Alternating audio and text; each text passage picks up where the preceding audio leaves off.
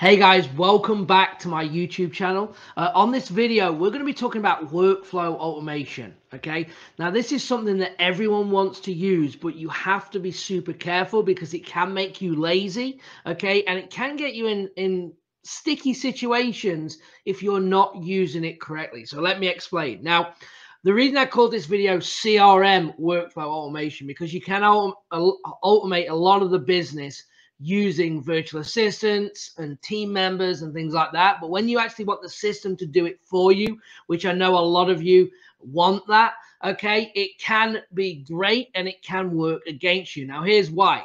There's nothing worse than actually things going off on automation without you realizing what's happening. Okay, maybe you've just got off off the phone with Dave at 123 Main Street, and then you have an automation that you push out that says, hey, Dave, are you interested in selling 123 Main Street? Doesn't actually make sense, right? So it can get you in them situations. Also, you have to be very careful with the DNC people. If they have told you to stop texting, to stop calling, you need to make sure that you change that status.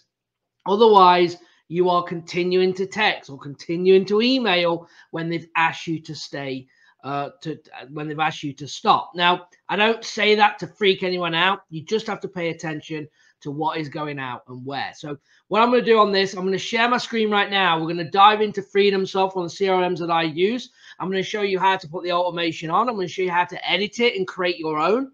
Um, and uh, yeah, it's going to be awesome. So let's go ahead and do that. Before we do, if you're interested in getting FreedomSoft, you can go to freedomsoft.com slash Gavin.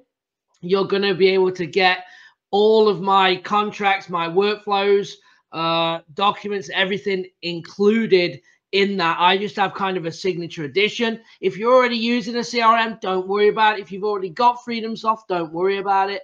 But if you want, like I said, head over to freedomsoft.com slash Gavin and check it out. Right, let me share my screen here and let me show you what we have going on. Let me move a couple of things around. Here we go. All right, so you should be able to see my screen here. Uh, this is FreedomSoft. So when you get in here, you're going to see your name uh, at the top of your account. Again, freedomsoft.com slash Gavin if you need it.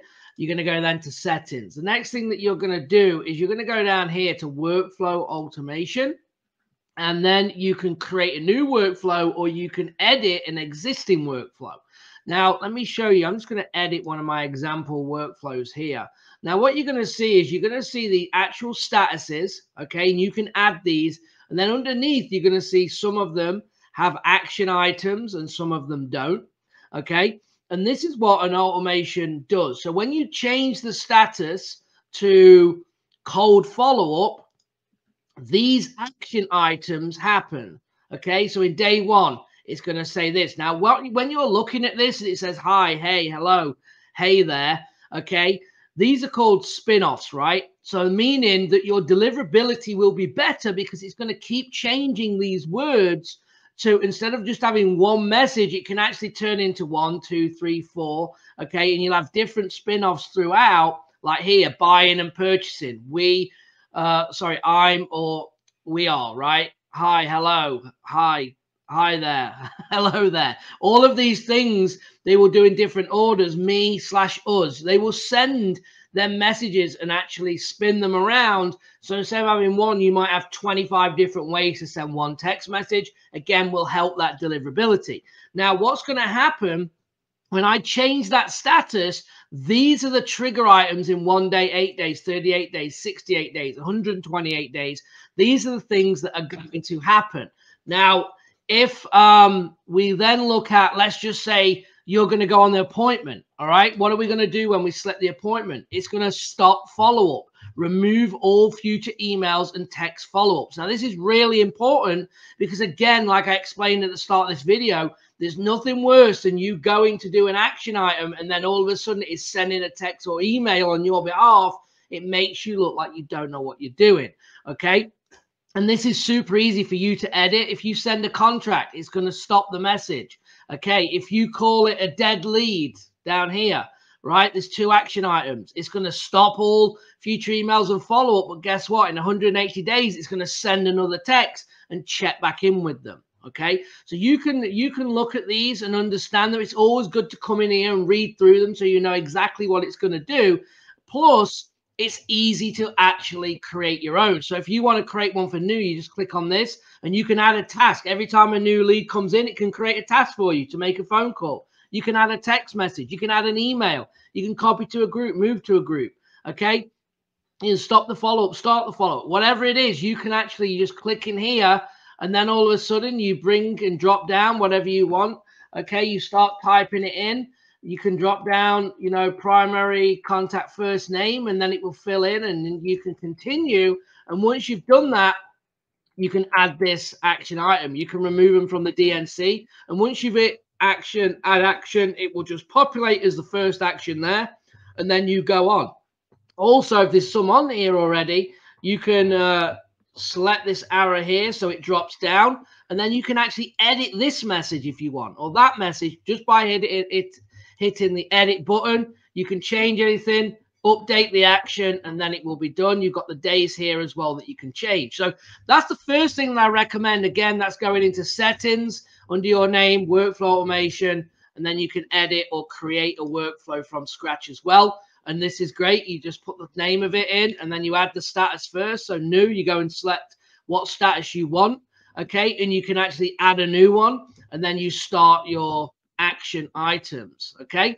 So that's how you're going to do that. Now, once you've done that, you're then going to go over to your campaigns. Let's just say this one here for Florida.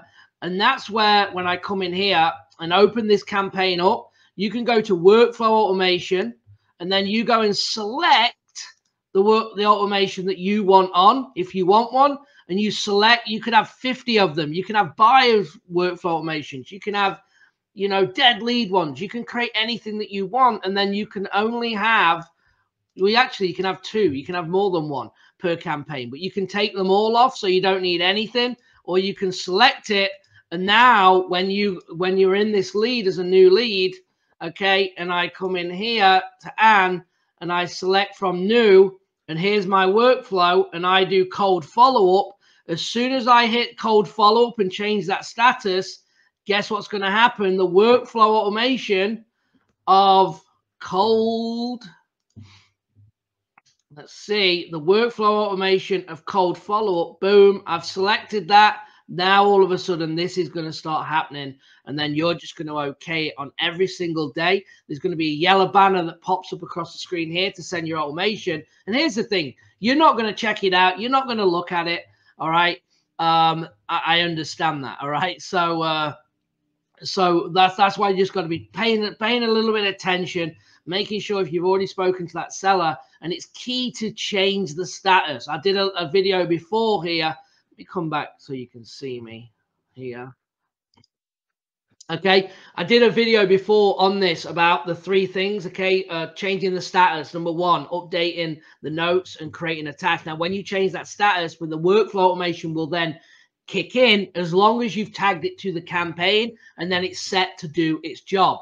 But one thing that I need you to remember is I want you to understand what the workflow is doing, and you don't have to go in great detail, but understand has uh, under contract got a workflow because guess what if you change it under contract and it's got a workflow under there, they're the things that's going to trigger to happen. So you just need to understand it takes a few minutes just to go through. As you can see, you probably noticed I only have action on the colder things, right? I only have the action items on the colder things. So when it goes to under contract, making offer, all these things, it was stopping the automation because you don't want to get caught out, just like we talked about at the start of this video. All right. Again, if it is a hot lead, you need to be working that personalized text messages, personalized contact from you or your acquisition manager. Do not allow or rely on the system. And remember, don't get lazy with this because we do always need that personal touch to get the contract signed, which is really, really important. Okay, so hey, if you like this video, give me a like, subscribe to the channel. We've got more videos to come uh, that are hopefully going to help you in your investing journey.